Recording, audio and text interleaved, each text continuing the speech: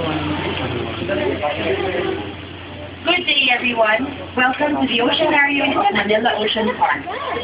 The Oceanarium journey is divided into seven zones, namely Agos, Bahura, Laot, Buhay na Karagatan, Halali,